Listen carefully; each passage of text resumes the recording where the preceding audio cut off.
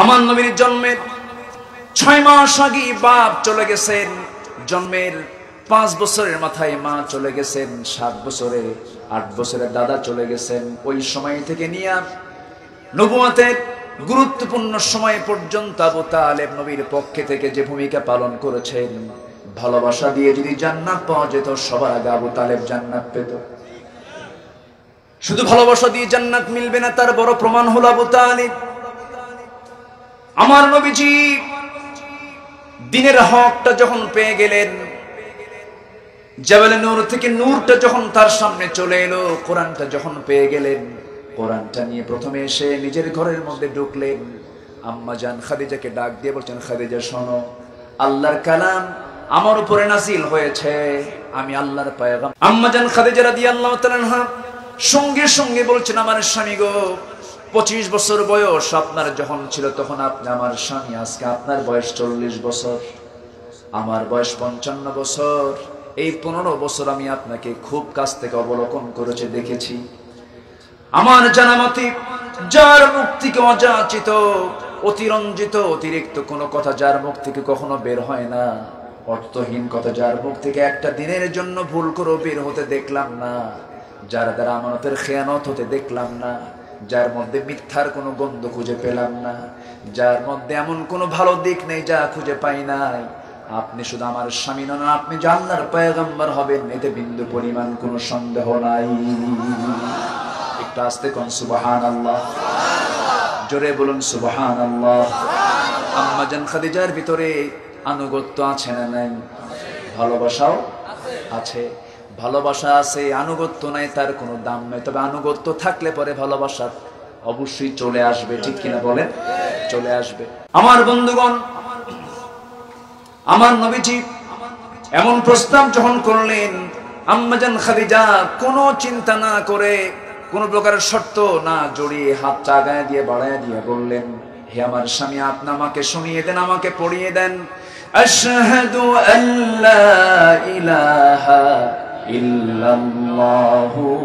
ওয়াহদাহু লা শারীকা লাহু ওয়া আশহাদু আন্না মুহাম্মাদান আবদুহু ওয়া রাসূলুহু। হেদায়েতের মালিকটাকে আল্লাহ! আসতে বলবেন না কে? এই জায়গা থেকে আমরা একটা অন্যতম শিক্ষা নিলাম। এই কোরআনের দাওয়াত বাইরে আগে দরকার না, ভিতরে আগে দরকার।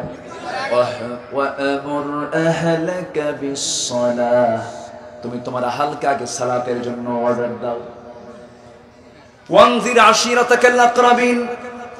তুমি তোমার নিজের, তোমার আকরাবিন যারা আছে, নিকটতম লোক যারা আছে, তাদেরকে তুমি আগে কালেমার দাওয়াতটা দাও, দিনের দাওয়াতটা দাও।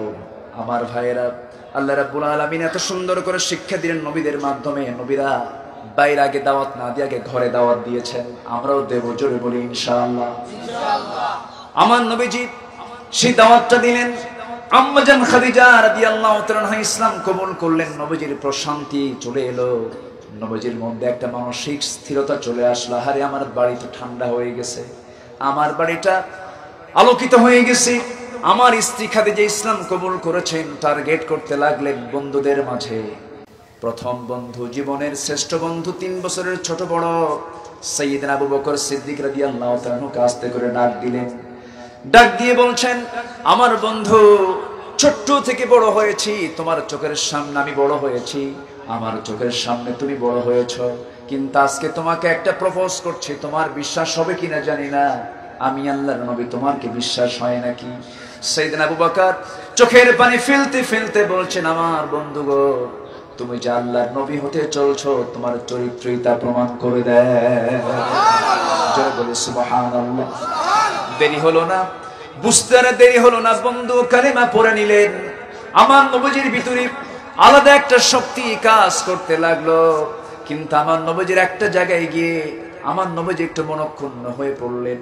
বললেন, চাচা, আমার জন্য আপনি কত কষ্ট করেছেন আবু তালেবকে? বললেন, ও চাচা আমার জন্য আপনি দিনরাত পরিশ্রম করেছেন, আমাকে ব্যবসা বাণিজ্য শিখিয়েছেন, আমাকে নিয়ে বিদেশ সফর করেছেন, ভাষাগুলো শিখিয়ে দিয়েছেন, ব্যবসার কৌশলগুলো আমাকে জানিয়ে দিয়েছেন। এত কিছু আপনি আমার জন্য করলেন, চাচা। আপনি একটু ইসলাম কবুল করুন, আমি খুব খুশি হয়ে যাব। আবু তালেব সঙ্গে সঙ্গে মুস্কি হাসি মেরে বলে, বাতিজা মোহাম্মদ, আমার কলিজার টুকরা সন্তান দুইটা জাফরকে দিয়েছি তোর হাতে। আলীকে দিয়েছি তোর হাতে। এই দুইটা আমার আদরের দুলালকে তোর হাতে তুলে দিয়েছে, আমার কালিমা পড়ার কি দরকার আছে? আমি জানি তুই সত্য। এই জন্য সন্তান দুটো তোর হাতে তুলে দিয়েছি। নবীজি মুসকে হাসি মেরে বলেন, চাচা, আপনার সন্তান দুইটা ইসলাম কবুল করেছে, তারা তাদের কবরে চলে যাবে, আপনি আপনার কবরে যাবেন। তাদের ইসলাম কবুল দিয়ে আপনার কোনো প্রকার কল্যাণ হবে না, যতক্ষণ না পর্যন্ত আপনার আনুগত্য না করবেন। ভালোবাসা শুধু শুধু দিয়ে জান্নাত পাওয়া যাবে না। আপনাকে দিন মানতে হবে। আপনাকে ইসলামটাকে গ্রহণ করতে হবে। আবু তালেব মুস্কা সিমের আস্তে করে দরবার ছেড়ে চলে গেলেন। নবজি তাকে জোড়াজড়িও করলেন না, কারণ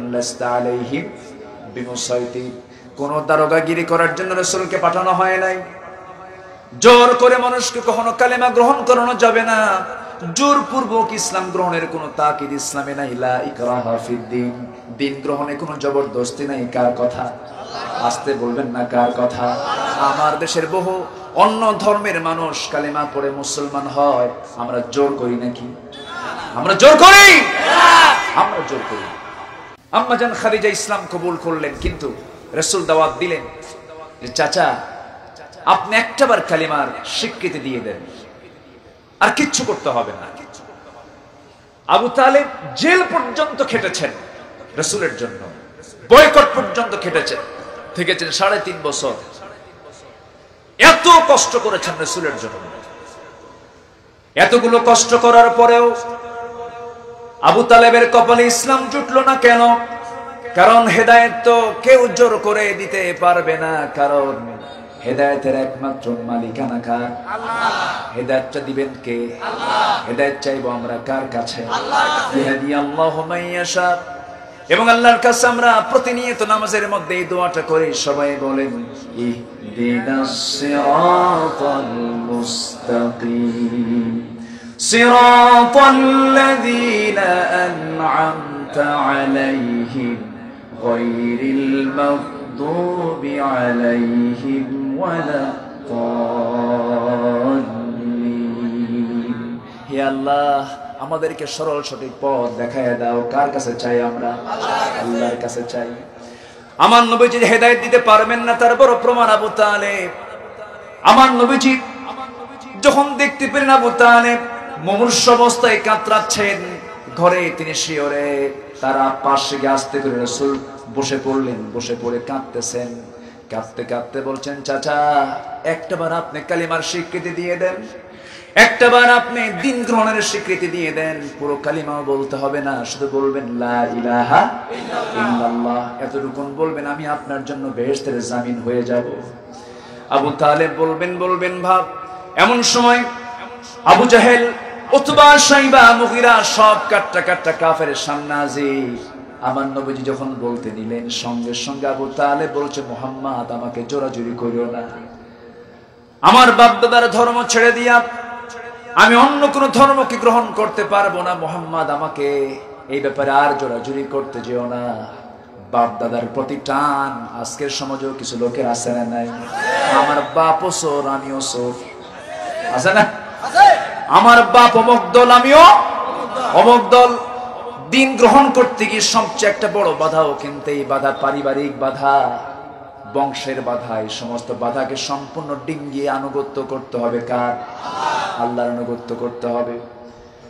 আবু তালেব, এই কথা বলা মাত্রই নবীজি সেই সময় হাদিস এসেছে, নবীজি তার মাথা থেকে পা পর্যন্ত তার বড় ক্ষতি হাত ছুঁয়ে দিলেন এবং বললেন, চাচা একটাবার কালিমার স্বীকৃতি দিয়ে দেন। শেষ পর্যন্ত যখন অস্বীকৃতি চলে আসলো আল্লাহর পক্ষ থেকে আয়াত নাজিল হলো, হে রাসূল, আপনি যাকে ভালোবাসবেন, আপনি তাকে হেদায়েত দিতে পারবেন না। কারণ হেদায়েতের চাবি কার হাতে?